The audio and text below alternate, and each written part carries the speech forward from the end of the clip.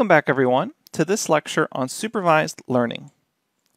Supervised learning algorithms are trained using labeled examples, and that's a key word, label, such as an input where the desired output is known. That means within your data set, you're going to have some historical features with historical labels. So you already have that information, such as a segment of text could have a category label. So you take a bunch of previous emails and someone has already gone by and classified them using the correct label. So they read the email and classified it as spam versus legitimate. Or we have a bunch of movie reviews and someone has already gone and labeled movie reviews either positive to the movie or negative to the movie. And then the idea would be for future text information, such as a future email, using that historical label data, the network or machine learning algorithm could learn off the historical data in order to predict for new data whether it belongs in the spam category or legitimate category, or in the positive category or negative category for these movie reviews. So the way this works is for neural networks, the network is going to receive a set of input data along with the corresponding correct outputs. And then the algorithm or network will learn by comparing its actual output with correct outputs to find errors and then it will modify the model accordingly, such as adjusting the weights and bias values in the network. And don't worry about those two key terms, we'll discuss those in a lot more detail when we talk about neural network theory.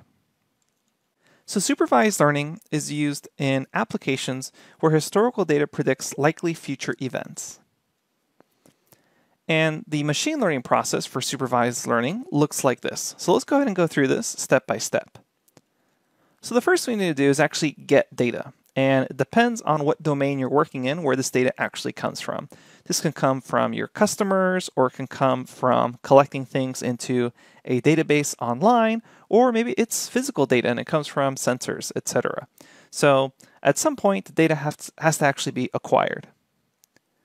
Once we actually acquire the data, then we need to clean and format the data so that our neural network can actually process it. And often we'll do this using a library called pandas. Then we split the data into training data and test data. And we'll talk about this particular step in a little more detail towards the end of this lecture.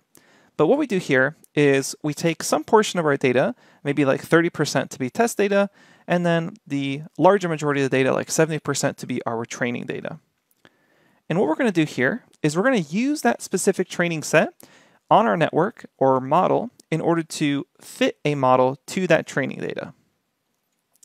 Then we want to know how well our model actually performed. So we then run that test data through the model and compare the model's prediction to the actual correct label that the test data had. Because remember, we actually know the correct label for that test data.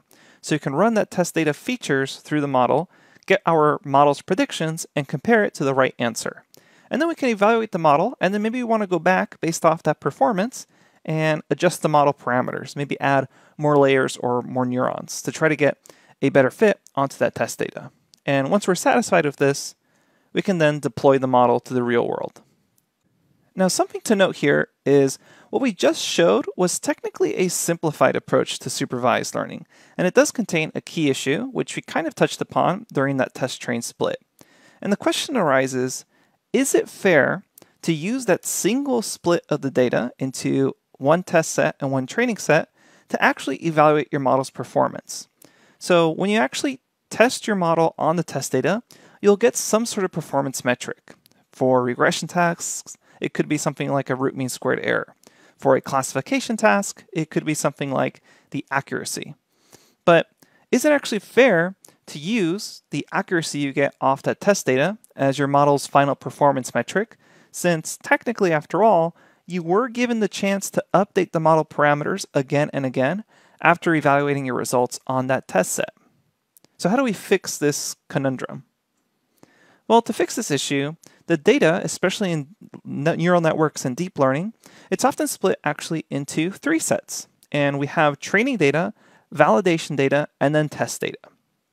So we kind of introduce this in-between step of this validation. And so what we end up doing is we have these three sets, and we have the training data just as we did before. And this is used to train the model parameters. So the model gets to look at the features, look at the correct output, and then fit to this training data. And then The next step is our validation data, which was kind of our test data from before. And so what we do with this validation data is after training on the training data, we check the performance on the validation data. And maybe based off that performance, we go back and adjust our models, maybe adding more neurons or adding more layers, changing the actual architecture of the network, etc. And then you kind of repeat that process over and over again until you're satisfied with your model's performance on the validation data. And now it comes time to evaluate the true performance of your model. So what do we do? Well, that's why we have that third split of test data that the model has never seen before. And what you use that final test data set is to actually get some final performance metric. Now, the key thing to note here is that once you run the model through the test data, that's going to be the performance metric that you expect your model to actually perform with in the real world. Since you're not going to go back and adjust your model's weights or parameters or anything else. Once you actually go onto that final test data set, you're technically not allowed to go back and adjust the model in order to try to refine your performance on that final test data set. So you can think of it this way. You train on the training data to actually fit your model, then you use the validation data to see how your model performs on unseen data, and then go back and adjust your hyperparameters.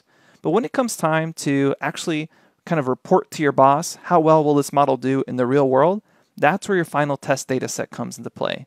And the test data set, once you actually pass it through the test data and you get that performance metric, that's it. You don't really get to go back and adjust the hyperparameters. Otherwise, you're kind of cheating yourself again on understanding the model's real performance on truly unseen data. So what this means is after we see that result on the final test set, we don't get to go back and adjust any of those model parameters. This final measure is what we label the true performance of the model to be on unseen data. Now, in this course, in general, we're going to simplify our data by just doing that single train test split. While technically we could be doing another split to get both a validation and a test set, for the kind of problems and exercises we're doing in this course, since we're not really deploying a lot of these models to the real world, um, it's not a huge deal that we essentially just have a training set and a test set, and we skip the sort of like in-between validation set.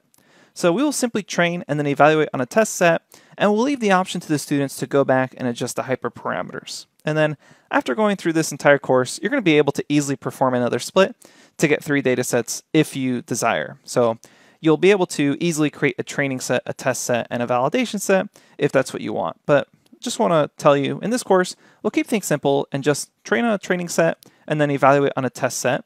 And we won't really go back and adjust hyperparameters. We'll kind of treat that test as the final. And again, you can always go back and add in more neurons or more layers or more hyperparameters to your network. That'll be really easy to do. And we'll kind of leave that up to you uh, as a student to decide if you want to continue with that. Okay, let's go ahead and move on to discuss things like overfitting. I'll see you at the next lecture.